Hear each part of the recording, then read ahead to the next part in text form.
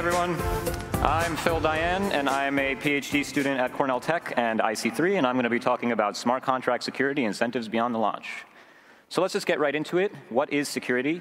Recently, I was lucky enough to attend this fascinating talk at the Usenix Security Summit, which is a gathering of professionals and academics by uh, James Mickens from Harvard University. So I know the title is long, but if you Google James Mickens, you can find this talk. And I'm actually going to steal all his philosophical insights for my talk. Um, so sort of classically, when we define security as a community, uh, we've looked at historically this Cartesian product between people, programs, and computational resources. Uh, this was originally motivated by wanting to make statements like, Pyotr, who is on the other side of the Iron Curtain and is bad, cannot use the login daemon to access the US government ARPANET. Um, and this definition sort of naturally has been adopted by the, the blockchain space and extends into this space, saying things like, Pyotr, who's the DAO hacker, cannot use reentrancy to access my tokens, or can't use overflow to access my tokens, or self-destruct. Um, so in the last two years, we've gotten a lot right with regards to this notion of security. So two years ago was sort of the eve of the DAO hack, and it still wasn't even clear whether we would be able to build secure smart contracts at all. Since then, we've seen sort of this blossoming of projects, many of whom are talking here, including Hydra Project, Securify, Mythril, new languages like Vyper, the K framework, uh, say hi to the runtime verification booth, and Manticore, and many more. Um, and we've also seen a wide, wide variety of publications about smart contract security, smart contract formal verification, and more. So unlike two years ago, we have a range of tools, a robust audit community, and a robust culture a deep toolkit of formal methods, much better testing practices, and higher standards. Now, that's not to say we're perfect, but we've been substantially successful at optimizing for this notion of Cartesian product security.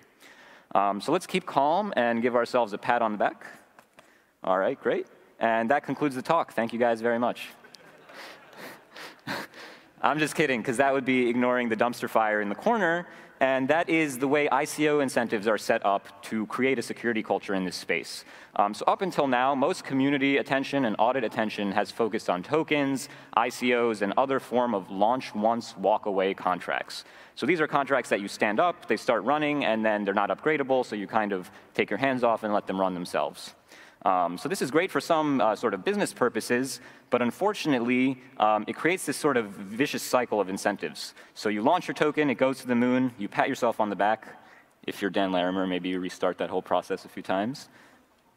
And uh, what does that give you? So what it gives you is a lack of in-house security experience at many of these projects because you sort of don't need to engage in continual development and continual security processes.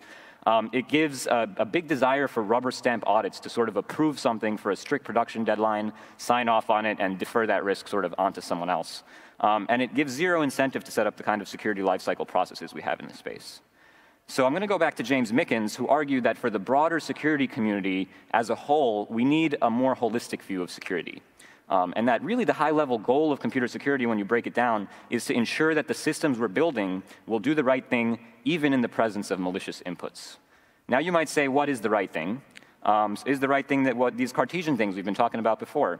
And actually, these are, these are too simple in a world where technology sort of pervades and impacts every aspect of our lives. Um, it's no longer sufficient to just ask, can someone access a resource? Can someone steal my tokens?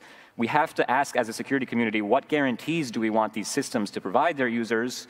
Um, and we have to reason about broader and more nebulous moral questions. So for example, should a particular action be possible from a moral perspective? And if so, how do we get socially beneficial outcomes out of our systems? Um, so in a nutshell, basically, the role of security is to separate the good from the inscrutable. Um, so a good system, it's a system that does what users expect. It leads to socially good outcomes, and it fails in known and predictable ways that the user is aware of before they engage with the system. Um, an inscrutable system are systems that often violate the expectations of their users. They lead to socially negative or socially morally bad outcomes, and they fail in unpredictable and surprising and often catastrophic ways. So as a security community, how do we separate these two kinds of systems?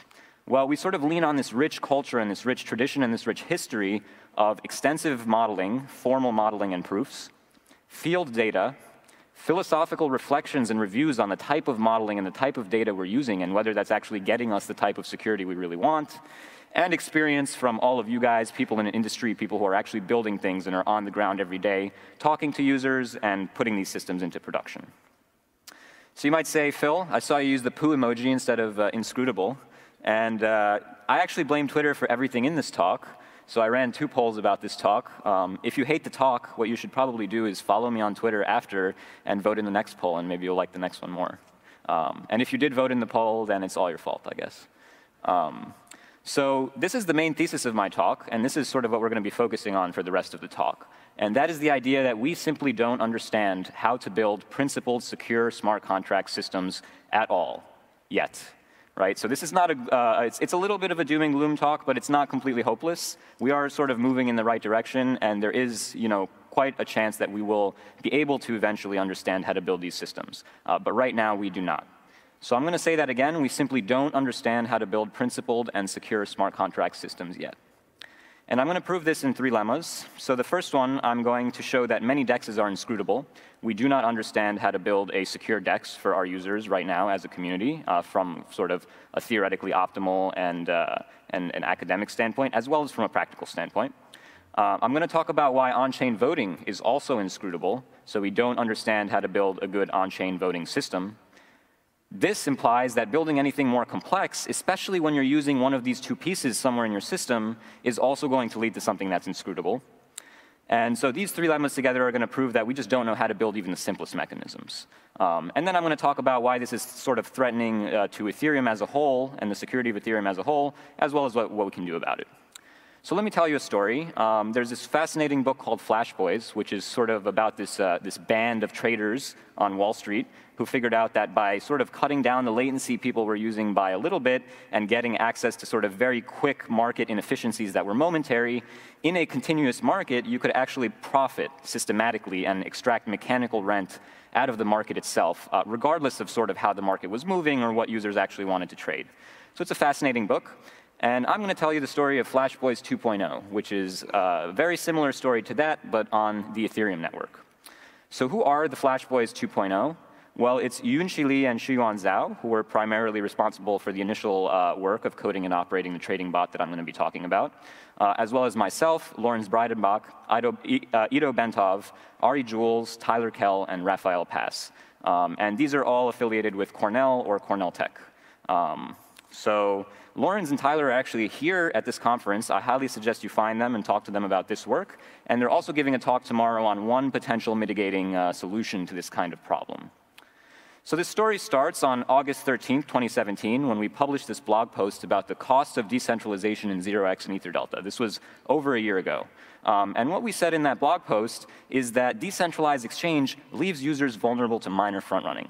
That means if a user comes and puts in an order on a decentralized exchange, a miner can see that and can, with guaranteed profit essentially, insert their own transactions on either side of that order to sandwich that order. Um, this is something that's frowned on in regular markets. If you're, if you're doing activity like this, either the market design will try to design to, to, to make sure you can't do that, or you'll get banned from whoever, whatever broker you're trading through or whatever. But uh, in on-chain systems, this is very prevalent. And not only that, but it actually gets worse. So many of the systems we've built now have slow cancellation, which means that because an order is sitting on the blockchain and you have to bring your cancellation to the blockchain, uh, by the time you go to cancel your order, if the price has changed, essentially that's a juicy order for miners to come take quickly before you're able to cancel it, and you're just going to waste the gas price of your cancellation. Um, there's also an issue of high gas costs for competing transactions. So multiple transactions trying to take a juicy order that's on the blockchain essentially engage in this bidding war on gas to see who can get mined first by the miners and who can get that uh, transaction.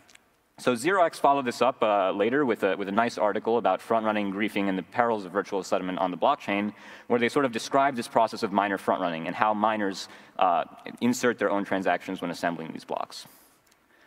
Now, uh, you might say, Phil, you're in your ivory tower over there talking about this, but we're building real systems. Um, that's not actually the case, so we practice what we preach. Um, so we actually ran the numbers on this in the 24 hours uh, in, on, on, August uh, 11th, 2017. And on that day, you could have made approximately $4,500 or uh, approximately $1.6 million a year front-running EtherDelta alone. So remember, this was before sort of the rise of many dexes that came out shortly after this work. Um, as well as before much of the, many of the users started using these DEXs with better UIs, so it's likely these numbers are actually much worse today.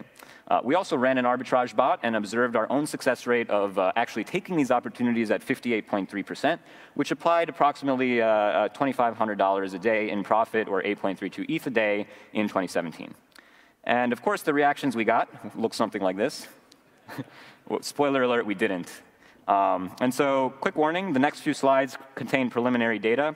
I'm a big believer of sort of doing science in the open and showing you guys what we have as soon as we have a form that we can show it to you in. Uh, so take this data with a grain of salt and sort of watch out on my Twitter for when I, when I sort of tweet that this is finalized and you can really have confidence in this data. And we're also going to be releasing it and open sourcing everything I talk about today for peer review uh, within the next month or so. So quantifying the front-running problem. So between around blocks 3.87 million and around blocks 6.6 million, which was, I think, a week or two ago, uh, we saw around 2,500,000 of these programmatic arbitrage bot transactions, uh, which is about 30% of all blocks on the network in that time containing such a transaction. We also saw 21 trillion total gwei bid in the network for the gas to pay for these transactions, which uh, paid for 989 billion gas, or sorry, bid 989 billion gas. The transaction could potentially use less than it bid. And that's equivalent to about 120,000 full blocks of gas. So you can see this is already happening actively on the system today. Um, now let's sort of zoom in a little bit and look at the, the, graphical data of what this market looks like. So that purple line over there is the date we published the post. Um, you can see before that it was maybe us trading around and experimenting a little in one bot. Um, and shortly after that, uh, sort of this rapid professionalized economy uh, rose up, taking these arbitrage opportunities often competitively. So the way you should read this graph is the top line is, uh, the, is the uh, top line of the top graph is the gwei bid including failures. And uh, what that means is we include transactions that didn't necessarily successfully arbitrage things, and we're using a pretty loose heuristic which might accidentally identify transactions that are uh, trading programmatically through DEXs for other reasons. Um, so we're looking through that data manually and just validating it. Take this with a grain of salt right now, but approximately this is what the, the shape of the market looks like. Um, and the way you should read this is essentially we chunked up uh, time into 10,000 block intervals and just looked at how much gas and gwei was being used in each of those 10,000 block intervals. Um, so it's not actually a moving average. Sorry for that misleading label. Um, but uh, if you see, for example, the bottom line, 15 billion gas, that means in those 10,000 blocks, 15 billion total gas was, was uh, sort of bid, which means uh, 1.5 million gas per block was demanded by these arbitragers. Um, the lower two lines so, show the successful arbitrage rates, uh, and these are transactions which actually manage to execute trades on a DEX programmatically through other smart contracts. Um, and the bottom red line is the fail, uh, uh, is um, the gas used, and the, the top is the gas bid. So again, the gas bid is the price you offer to pay, and the gas used is the price you pay. So you can see this market has sort of been steadily increasing slowly in gas, but decreasing in the amount of gas it's burning for two reasons. Number one, the general gas market has cooled off a little bit uh, since that sort of spike right after our blog post. And another one, users are actually making smaller and smaller trades on these DEXs as they hit the mainstream, which means the, the average size of the opportunity is decreasing over time. Um, so we went and actually measured this market in much more detail because we wanted to know how are these bots that are doing this actually competing? What does it take to be competitive in this market? So we deployed eight nodes with 256 peers each, deeply peered with the Ethereum network. Geo-distributed this across three different server providers in South and North America, Europe, and Asia. We collected 215 million observations over a period of about a month and a half. Um, and what an observation is, is essentially every time a peer sent us an arbitrage transaction, we record the precise time we saw it, synchronized to the microsecond, um, as well as which peer relayed it and things like that. And the goal was to eventually sort of geolocate these bots, ask where in the world are the latency advantages strongest, as well as understand their operation and the dynamics between them, and collect precise timing data on these auctions. So what did we see when we did that? Um, this is what a typical competition between two bots trying to take a profitable opportunity looks like. Um, the graph is showing the bids over time. So on the right is time passing. You can see the auction ends about two and a half seconds after it starts. And the, the y-axis is sort of the gas price these bots are bidding for these opportunities. Um, so you can see two things. Number one, the bids are happening very fast, many bids in two minutes. Um, and also the green dot is the, is the bot that eventually won, and the red dot is the, the one that got mined and paid the fees but didn't get the opportunity. So how does this game work? Well, at some point in time, some random orange line will drop on this graph, and that orange line is when the block template was formed by the pool mining the block. And when the pool that eventually is going to mine the successful block forms that template and includes those transactions, the two transactions that at that point in time have paid the highest price will be included. So in that case, it's those two. In this case, it would be those two, and the guy on the right would win, and the guy on the left would lose. So this actually induces a latency war, because whoever sort of had the last word in this back and forth is the most likely to win the market. And it actually gets even weirder than that. So uh, here is an example of an auction in which the winner and the loser happened right at the start of the auction. And they, the bots kept bidding afterwards, even though the winner and loser were already locked in. So why did this happen? This happened because sort of uh, in the network, there's this difference between when this orange line drops that sort of locks in the auction results, and when this red line drops that actually uh, finds the solution to the, to, to the block on an ASIC and distributes it to the rest of the network. Um, so by making the, the, distance between these orange and red lines smaller, the pool could have taken a later bid and potentially profited a lot more from this auction than it did. But instead, the pool was a little bit inefficient. It took about uh, seven seconds without refreshing its block, and it lost out on, on a few fees as a result. Um, so I'm going to claim that the transparency in this mechanism uh, is a lie, because when you read the Ether Delta smart contract or the 0x smart contract, it doesn't imply this game at all. Um, but the real game people are playing on these networks from a game theoretic perspective is continuous time. It's imperfect information because you don't know when that orange line is going to drop. It's all pay because even losing bots pay gas for attempted execution. It's probabilistic, both in execution and duration. And it's rate limited because you can only send out transactions so fast on the Ethereum network. So this gives these bots a wide range of, uh, of, sort of angles to optimize on to be more profitable at taking these opportunities. So our conclusion in the blog was to recommend a centralized order book and say essentially there's a fundamental trade-off between who can front-run you. Either you have an exchange operator who can front-run you if they do the routing and matching for your orders, or you have some sort of peer-to-peer -peer network or blockchain involved in your routing and your orders, at which point someone in an advantageous position on that network could potentially have information asymmetry advantages that lead to mechanical rent. And we prove that this is sort of fundamental no matter what kind of global peer-to-peer -peer marketplace you build. Um, so just centralize it, maybe it will fix it, we don't know. All right, um, so the real competition here again is on latency, connectivity, et cetera, just like traditional HFT, just like Flashboys, et cetera. And the transparency is a lie, because what we have on-chain is actually not all the data. So of all the data I just showed you in the auctions, only one or two of those transactions even makes it to the chain or even makes it to Etherscan, because most of them just get replaced so quickly that no one in the network sees them.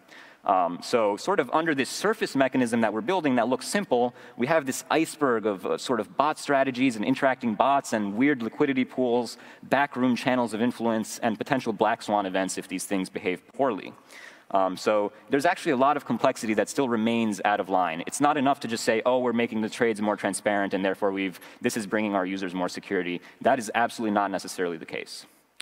So now you might be saying to me, Phil, isn't that just an efficient market? Isn't that just how the world works? Um, so let's talk about user experience in this brave new world of DEXs. So here's a user who says, uh, would you have the heart to return 24 ETH to my address? I am a stay-at-home parent and day trade to keep my family above water.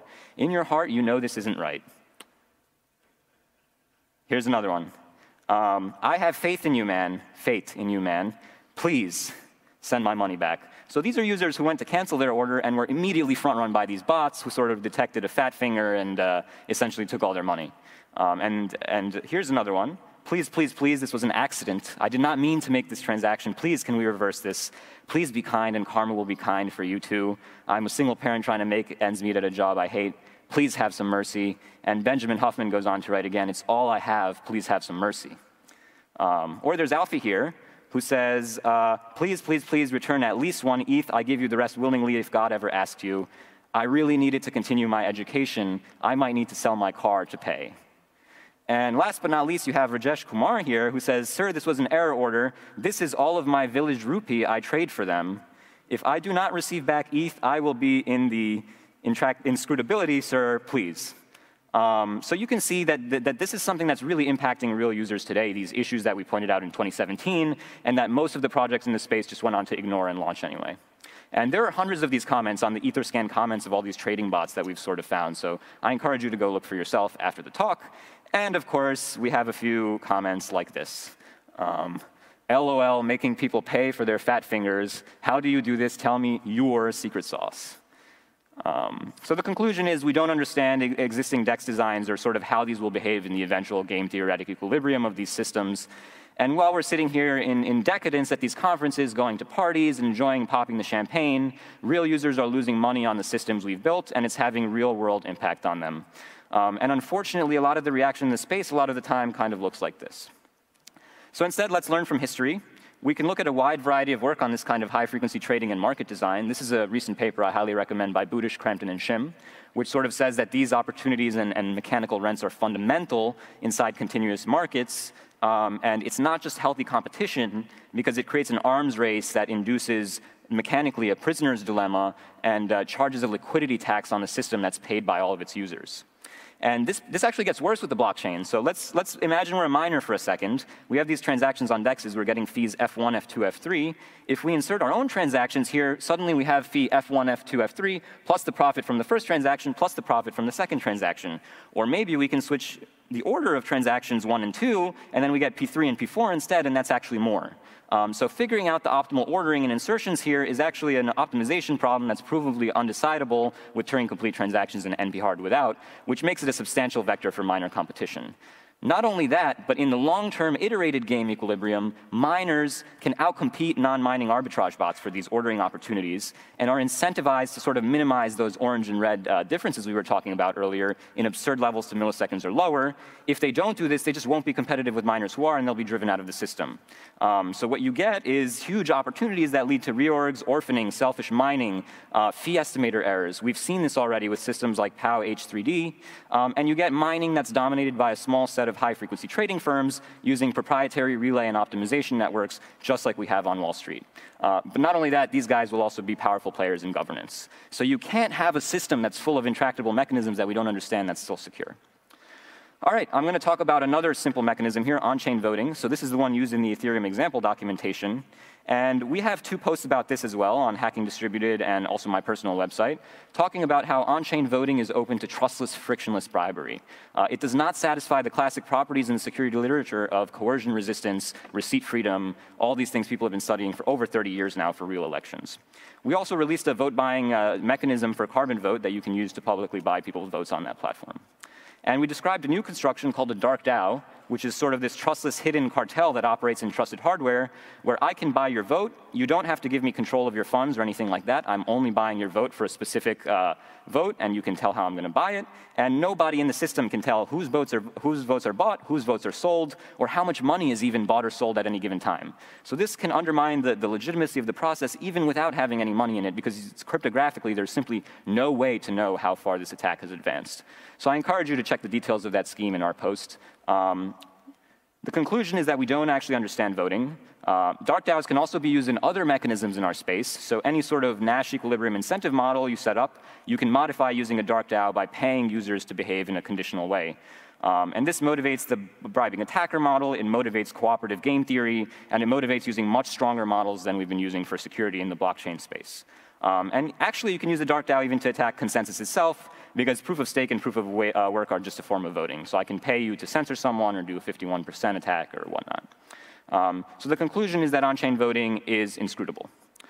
So what about more complex mechanisms? Uh, this is the a picture from uh, documentation, a little bit old, a little bit outdated, but from a real project in the space. And this is a more up-to-date sort of version of that same picture. So as you can see, we're building incredibly complex interacting mechanisms with a multitude of components. And we're looking at it and saying, well, it works because it works, right? Uh, but if you zoom into something like this, you see that but one small piece of this sort of like mess of interactions is, is an admin multisig that's eventually going to be replaced with something like on-chain voting.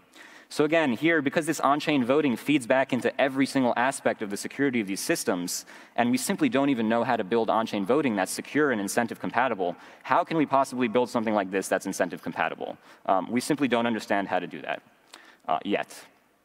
So uh, the conclusion is that any more complex mechanisms or any form of sort of substantial complexity is inscrutable.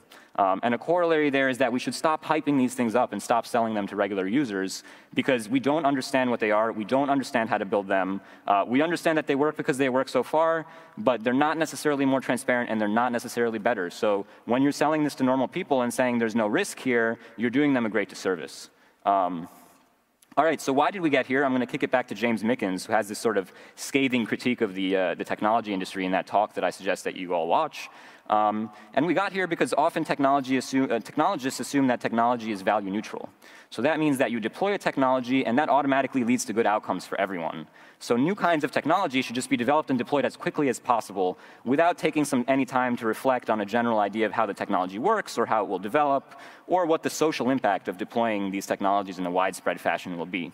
And this belief sort of comes with the idea that history is uninteresting because the past has nothing to teach us. So because we're reinventing everything anyway. So we might as well not look back at old academic work from 30 years ago or any of that um, because they don't understand us today.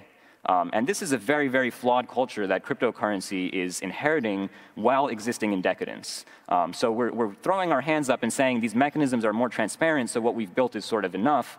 But, but as we said before, that's, even that is actually a lie. Um, and we can't afford to become detached as a community from these security outcomes in this fashion.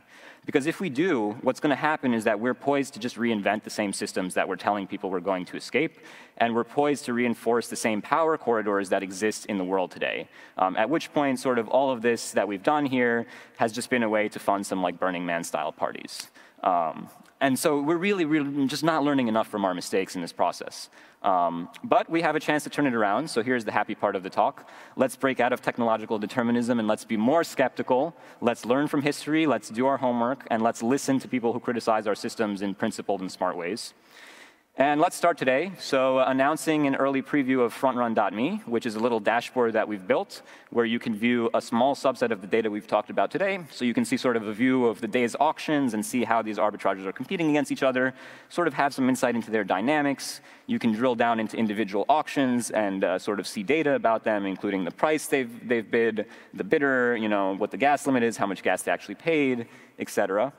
Um, and you can also go to a sort of a strategy breakdown, which graphs things like the bot's latency against themselves and against other players in the market, as well as what strategies they're using in this auction in terms of raises and things like that. Um, so this is super preliminary data. Uh, there are some known bugs in the software, but I just want to release it for you guys to sort of get an idea of the story we're going to tell here. Um, so what are we going to do next? We're going to integrate much more data into FrontRun.me. So of that hundreds of gigabytes of data that we've talked about, maybe only 1% is currently integrated into that dashboard. Uh, so we really only have the tip of the iceberg. We're also going to do things like geolocation studies and more. We also have robust game theory that's currently uh, sort of being formalized and finalized behind how these markets actually work and what users can actually expect from these systems, validated by the data that we're experimentally collecting here on FrontRun.me. And we're going to do the same for blockchain voting over the next year. So we're going to create attacks on existing protocols that we're actually going to implement and deploy. And we're also going to build schemes that have rigorous and provable security and sort of outline the contours of when these schemes are appropriate to be deployed and when not. So let me say that as a community, we have a chance here to set a positive example and get out of the poop emoji and into this world of sunshine and rainbows that we're all promising everyone will exist someday. Um, all right, that's pretty much all I have. Thank you guys so much for coming and listening. Uh, if you're interested uh, to know more, you can visit my website at pdaian.com. Follow me on Twitter at phildaian. Uh, there's also projectchicago.io. So Project Chicago aims to study resource markets uh, in Ethereum and things like fee markets, et cetera. And actually this is, is a part of Project Chicago because you can't really understand fee markets at all without understanding these additional ordering fees that are introduced by smart contract systems like Ethereum and these arbitrage auctions that we've sort of talked about today. Um, I'm also part of this cryptocurrency research initiative called uh, IC3 at initc3.org. So a bunch of us are here. Come say hi. Um, and a company for formal verification called Runtime Verification. They are, in my opinion, the best at this Cartesian product security we talked about on the first few slides. Um, and thank you to the Ethereum Community and Foundation for always supporting our independent research. Thank you to the NSF for supporting me and, uh, and our whole lab through grants. And thank you to all our industry partners for amazing conversations, uh, support, uh, insight from events, and more. And of course, uh, you know, all this work has at least five or six co-authors on it. It wouldn't be possible without them. And my sincerest thanks go out to them. Uh, unfortunately, I don't think I have time to take questions, but you can find me on Twitter or after the talk in the hallway, and I'm happy to do that.